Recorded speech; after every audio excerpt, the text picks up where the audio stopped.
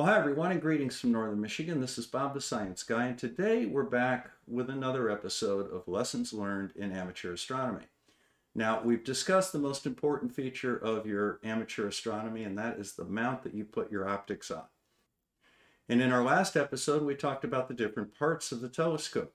Today, we're going to talk about the different types of telescopes and why you would choose one over the other. So let's cue up the music and get going.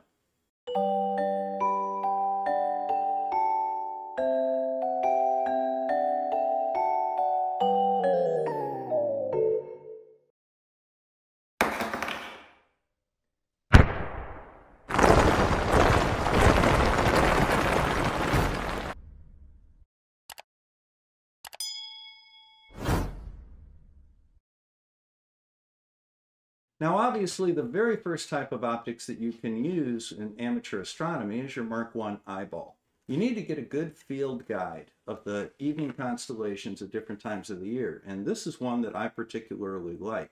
It's called Turn Left at Orion. And one nice thing about it is that it gives very clear pictures of what the major structures in the sky are at any season of the year. And then it goes into detail on each of those different constellations and star patterns. Now, of note, if you are an observatory level member of my Patreon, I'll send you one of these for free. Otherwise, you can buy them for 35 bucks a piece, and I'll make arrangements for you to get one sent to your house. So just simply getting outside and looking up at the sky and starting to recognize the different constellations and where they are in relationship to each other is your first step in amateur astronomy. But today we're going to talk about optics. So let's get the camera off of me and get it on the telescopes where it belongs. Now, the first optic that I want to talk about today is going to be astronomical binoculars. These are made by a company called Zhumell. Starts with a Z. It's a Chinese company, and they are really very affordable. You can get a set of binoculars like these for about $250 new, or if you go to Facebook Marketplace or eBay, you may be able to get them as I did for about 200. They have a 100 millimeter objective lens, and by the way, in my last episode, I did talk about this as being the aperture lens. Its actual name is the objective lens. Thanks to a couple of my viewers for pointing out that mistake that I made. It's the lens that's in the aperture, but the lens itself is actually called the objective. And these binoculars are what are called 25-100 binoculars, which means they have an objective lens of 100 millimeters, and they magnify things about 25 times. The biggest problem is, is they're actually quite heavy and you have to mount them on a stand in order to use them properly. But that shouldn't really stop you because even something as simple as this laser rangefinder, which has a very low magnification lens in it, will help you bring out some details in some of the nebulae and star clusters that you can see in the night sky. A basic set of field glasses that you would use for deer hunting or bird watching would also work as well. Now to just kind of go over how binoculars work, the light comes in the objective end at this end. There are some lenses in here and a prism system down here that brings the light down and then redirects it out here to the eyepieces. Now the next step up from this is going to be a refractor type telescope and I'll give you a couple of examples of that. Now this is a basic refractor telescope. It's actually a finder scope for one of my other telescopes. It would go up in a position like this. But what you have is an objective lens, and then you have a tube. Back here you have a mirror, and then you have an eyepiece. On the more elaborate side, you have my 80 millimeter refractor here.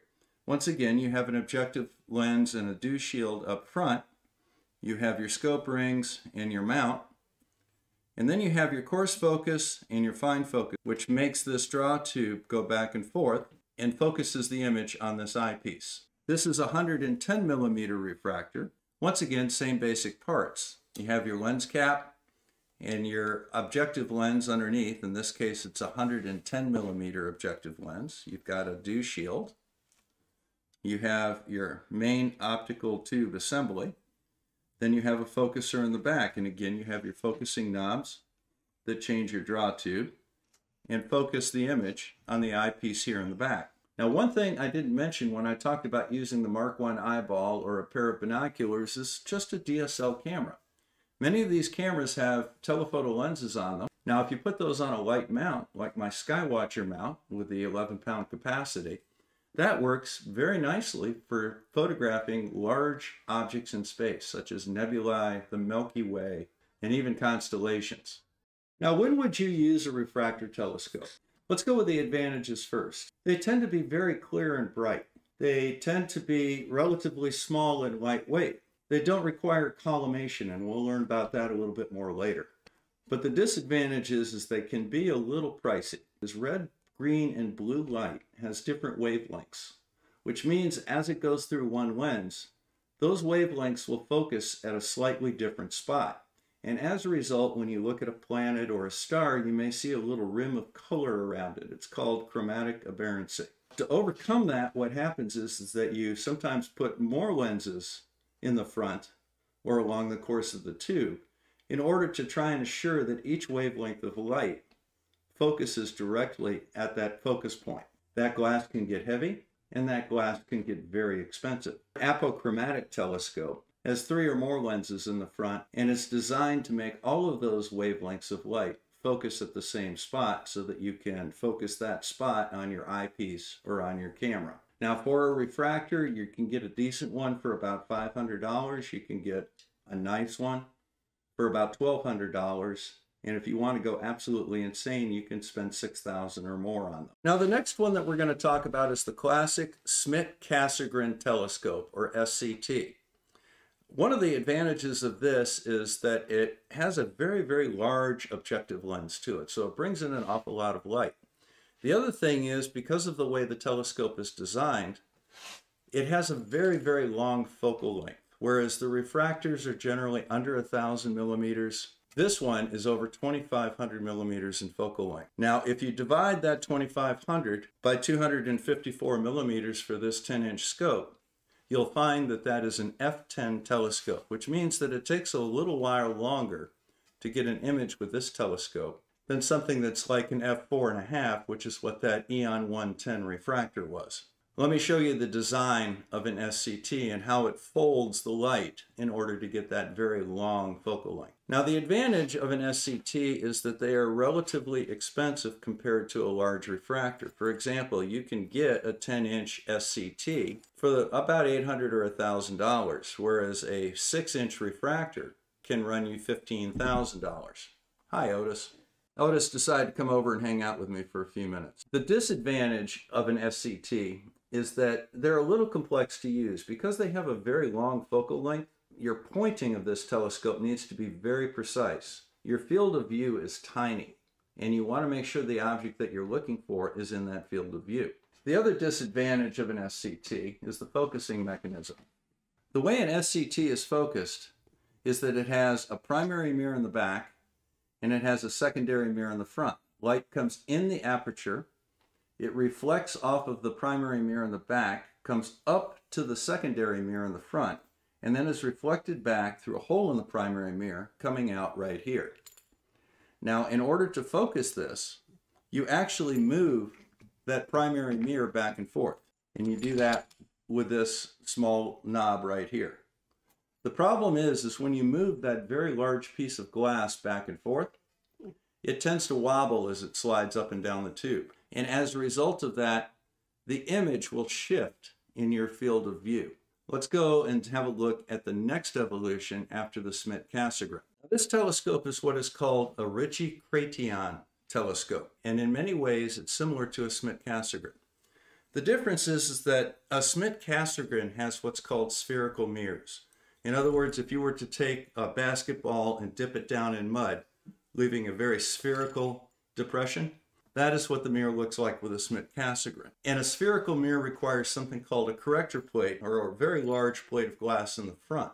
The problem with that is that that tends to fog up. Whereas with a Ritchey-Chrétien, as you can see, there's no corrector in the front. It's just an open tube. Now, like a Schmidt-Cassegrain, what happens with a Ritchey-Chrétien is the light comes in the front. It reflects off a primary mirror in the back. Now, this mirror, unlike a Schmidt-Cassegrain, is fixed. It doesn't move. It's also parabolic rather than spherical, which is why you don't need a corrector plate.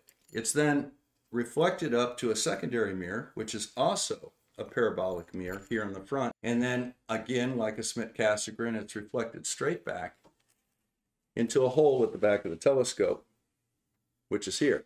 Here's where the difference is between a Ritchey-Chrétien and a Schmidt-Cassegrain. A Ritchey-Chrétien, that light goes through a focusing tube, very much like a refractor. And that focusing tube generally has knobs on it. In this particular case, I've got an electronic focuser.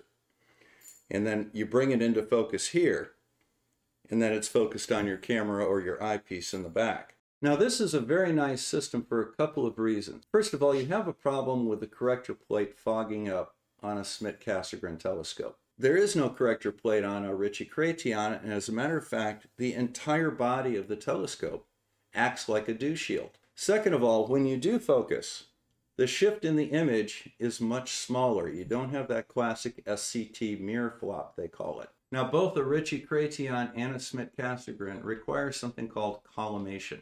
Now what collimation means is that you want the light coming in the front of the telescope to be reflected off the primary mirror to exactly the center of the secondary mirror and then reflected straight back into your focuser and eyepiece. Now at any point along that path, one of those mirrors can be a little bit out of square and as a result, the light path will be shifted a little bit. Bring all of those light paths in exactly as they're supposed to be is called collimating the scope. Ritchey-Chrétiens have to be collimated, so do Schmidt-Cassegrain telescopes. Another type of telescope that you may see quite frequently is called a reflector telescope or a Newtonian telescope, and they require collimation as well. But that's an issue that you have with any scope that involves mirrors. Now, the last one I want to talk about is something called the Rowe Ackermann Schmidt astrograph. This is a high-end telescope that is very specialized. An astrograph means that it's only suitable for taking images with a camera. It doesn't even have a place to put an eyepiece. Now, the design of the Rowe Ackermann Schmidt astrograph is very similar to the SCT.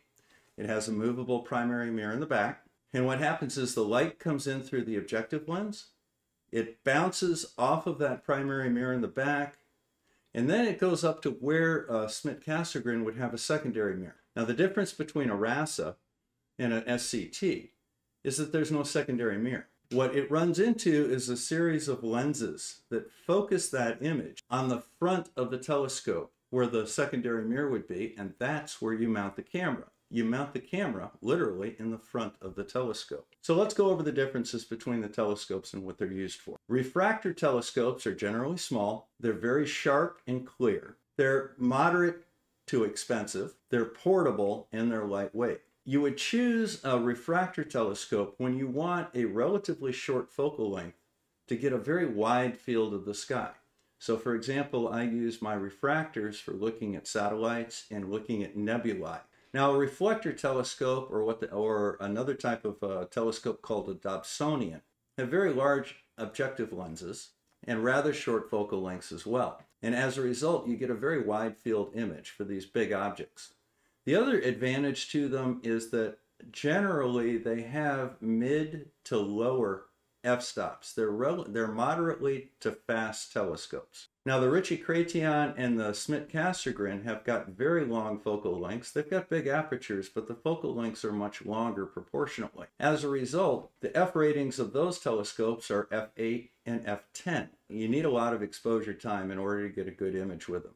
However, they magnify objects tremendously. So if you're looking at galaxies or very small objects like planets, you need that long focal length in order to get the magnification you need to make out any details. With the refractors, you can get a really good look at the moon. With the SCT and the Ritchey-Chrétien, you can study individual craters in the moon and see the central mountains and such. Now, the last one that I want to talk about is the RASA. The RASA is a special telescope. It is a research grade telescope. And the reason for that is that it has a very short focal length. The focal length of the RASA is only 40 millimeters longer than the focal length of this little 80 millimeter refractor. The result is that you have an extremely wide field. This refractor has an aperture of 80 millimeters. The RASA has an aperture of 279 millimeters, 11 inches. As a result, it collects an awful lot of light and it's a very fast telescope. The F rating of a RASA is 2.2. a one minute exposure with the RASA. In order to get the same exposure on something like the, the F8 Ritchey Chrétien, you'd have to do a 15 minute exposure. So you see the amount of light that it collects and how fast it can make an image. It's very nice for asteroid work and taking pictures of large nebulosities. Now the question everybody wants to know, what's the first telescope you should buy? You can get a Newtonian telescope, a reflector telescope. They have relatively large apertures and they have short focal lengths, so they're relatively easy to use. However, they do require collimation and they tend to be very bulky. What I would do is get a small refractor like this 80 millimeter. This will give you a very sharp focus, a bright image, and a wide field of view. Tracking is not quite as essential if you have a very wide field of view. If you're looking at an individual galaxy that's very small or a planet, tracking is very important. We'll go over tracking and how you use computers with telescopes and something called electronic assisted astronomy. That's another series that I'm going to do, and we'll go over that when we're done with this one. But the biggest bang for your buck is going to be a mount, a good mount that has a capacity of 28 to 30 pounds, and a little nine pound refractor like this. This will get you started in backyard astronomy very nicely without having to have a tremendous amount of knowledge on the workings of telescopes or how to adjust them and everything. So, this is Bob the Science Guy signing out from Northern Michigan. Thank you again for stopping by. Next time, we're going to talk about collimation.